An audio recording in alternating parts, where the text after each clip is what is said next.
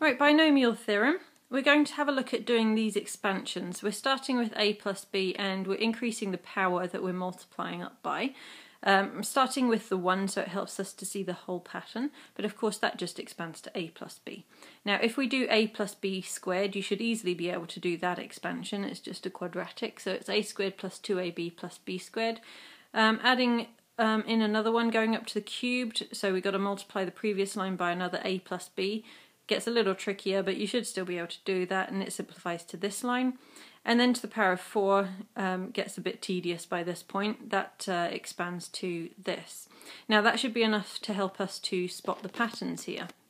So first of all, let's have a look at the first term, the a, and what's happening there. So if we look at that fourth line where we're doing to the power of 4, a starts at the power of 4 and then reduces by a power each time, even down to a to the 0 at the end, which we wouldn't bother writing because that's just a 1. Anything to the power of 0 is 1.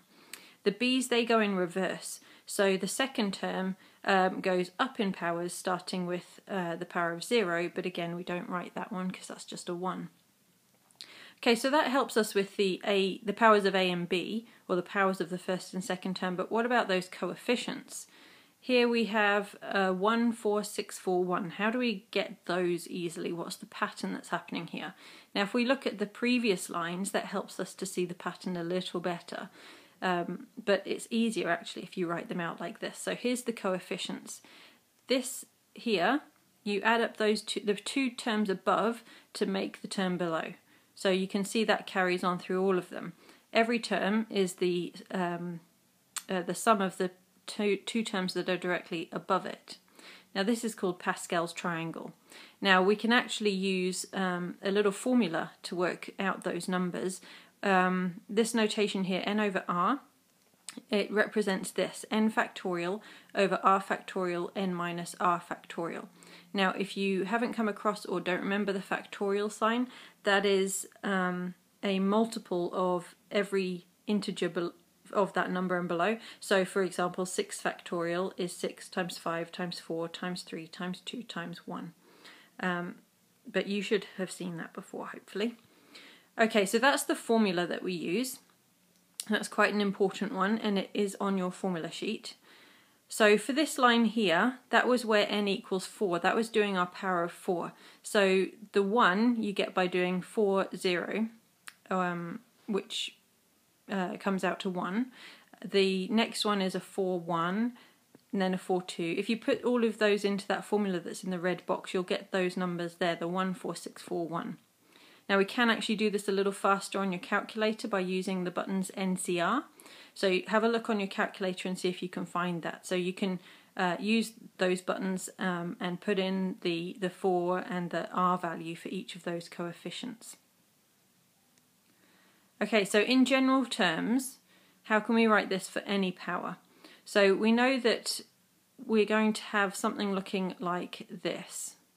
Okay, so the coefficients, they start with n um, 0. Now I'll talk about that as n choose 0. That's the, the c that um, is in was on that previous slide where it says ncr. So n choose 0 and then a to the n b to the 0. The a starts at the n, the b starts at 0, and then they work opposite to each other. So a reduces in powers and b increases in powers.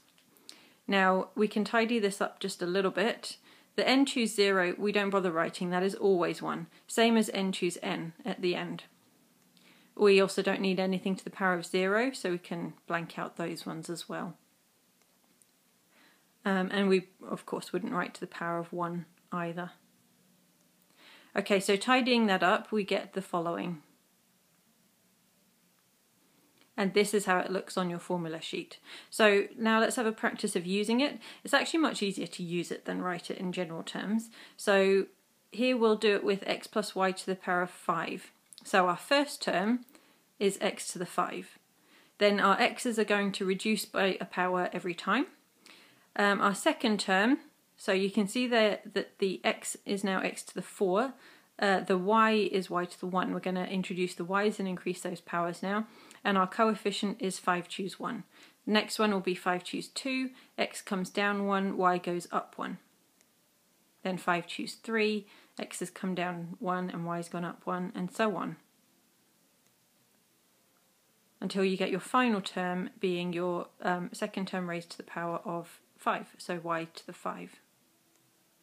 So if we tidy that up now, you can use the um, button on your calculator to work out those coefficients. So 5 over 1, you just type that in as 5, then that NCR button and 1. That gives you a 5. 5 choose 2 is 10, 5 choose 3 is 10, and 5 choose 4 is 5. Okay, so some examples. We're going to find the first three terms in the expansion in ascending powers of x of this.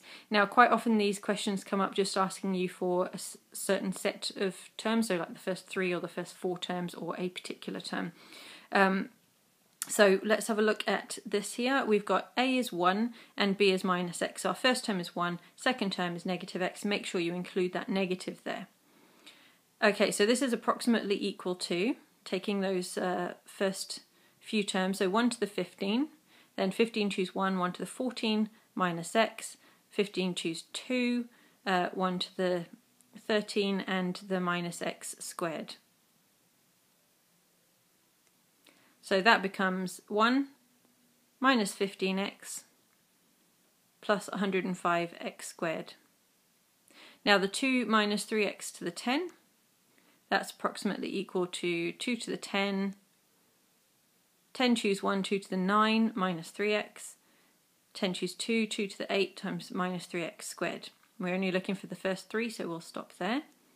And then working out those numbers, we've got 1024 minus 15,360x and 103,680x squared. Okay, now you can be asked to take this one step further. Use part B to find an approximation to 1.97 to the 10. Okay, so 1.97, we want to make it the same as what we had in B. So this is the same as 2 minus 0.03, which is the same as 2 minus 3 times 0.01. Now you can see that is in the same form as the 2 minus 3x that we had, where x is 0.01. Okay, so now we can put it into our expansion. So we just need to take that um, expansion with that starts there in the green with the 1024 and put in our value of x which is 0.01.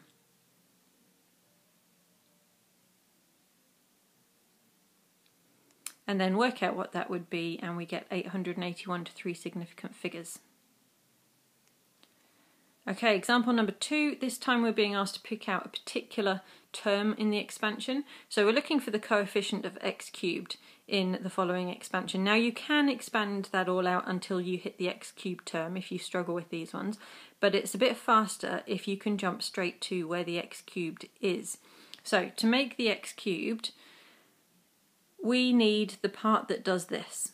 So we need to have the 2x um, to the power of 3. Now, if we've got 2x to the power of 3, that means that the first term is to the power of 7, because those terms always have to add up to 10. And it means that the coefficient is the 10 choose 3 part, because that 3, um, you know, the bottom of those that, that column there is always matching the power of the second term. So now we can go straight to working out what that coefficient would be, and we get our answer. Okay, another example, write down the first four terms in the expansion of this. So we've got to expand 1 plus x to the 5 and then multiply it by 1 minus x. So let's just do the expansion of uh, the power of 5 first, and we'll take the first five terms. You should be getting used to doing these now, hopefully. And then we're just going to tidy that up.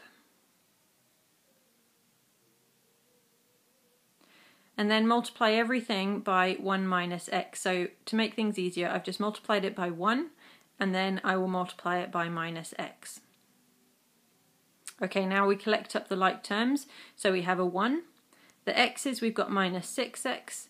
The x squareds, we've got 15 of those.